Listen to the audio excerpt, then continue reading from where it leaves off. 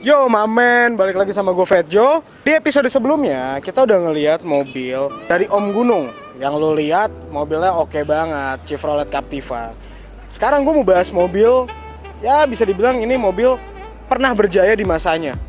Mobil off-road yang harganya bersahabat tapi masih tetap kece dan diburu sama pecinta off-road Indonesia. Mobil tersebut adalah Vitara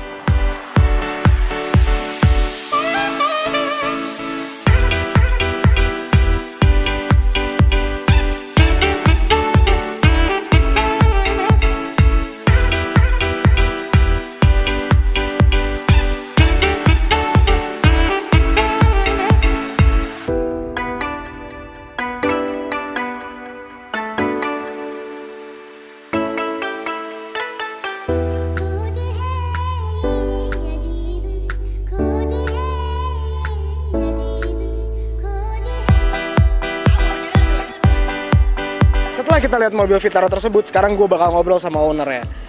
Ownernya ada di sebelah gue nih. Yuk kenalan dulu sama owner dari mobil Suzuki Vitara. Halo. Halo. Gue Dino. Halo Om Dino.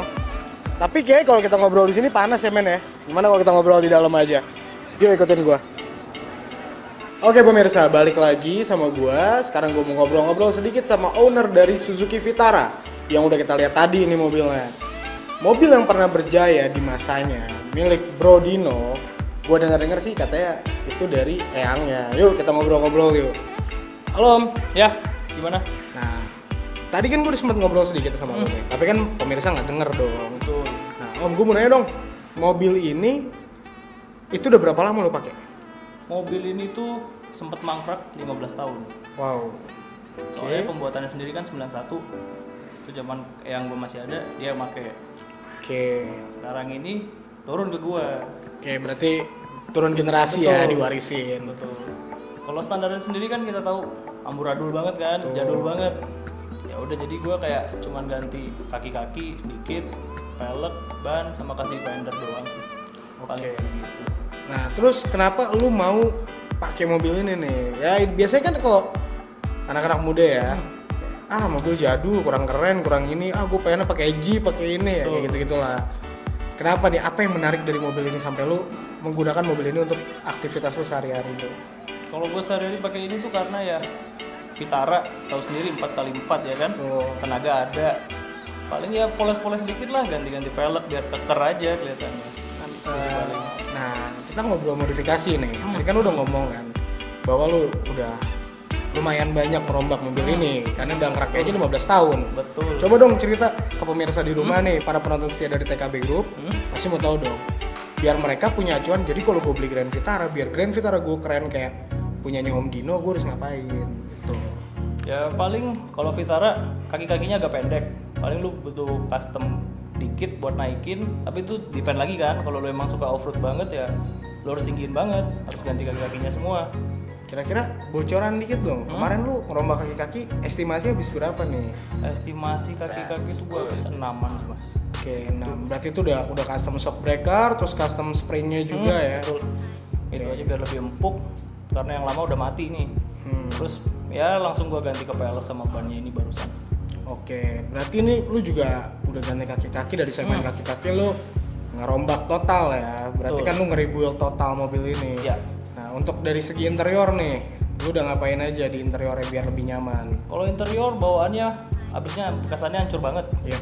Gua ganti lagi, gua pakai biasa yang bitek lah yang itu. Cuman ribetnya tuh kalau dalamnya kita harus ngukur. Soalnya sekarang toko-toko buat kayak gitu udah nggak punya cetakannya. Oke. Jadi lu harus kayak punya nunggu. Ah, deh. bener, agak lama pokoknya bikinnya.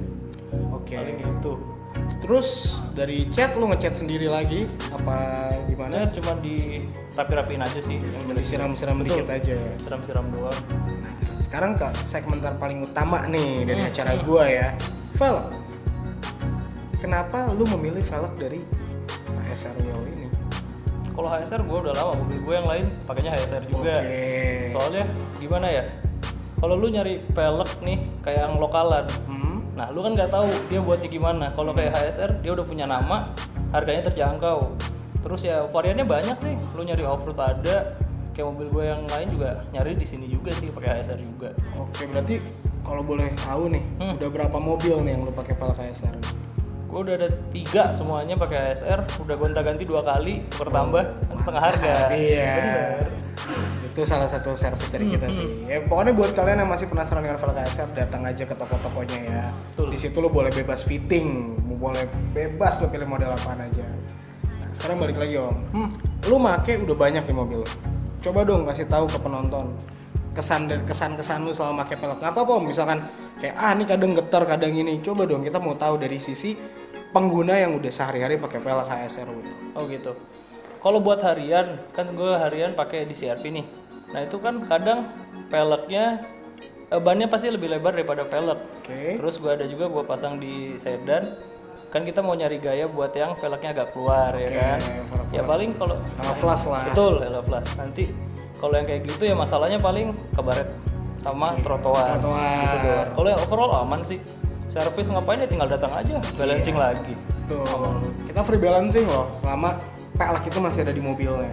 Lu bebas balancing, lu bebas isi nitrogen, lu bebas juga tambah ban kalau bocor. Oke, gue minta satu kata dari lo buat HSR wheel. Pokoknya kalau lu nyari pelek pakai SR aja jangan ragu. Maintenance-nya gampang, lu repot tinggal bawa ke sini ya. Mantap pokoknya. Oke, berarti dari Brodino HSR wheel mantap.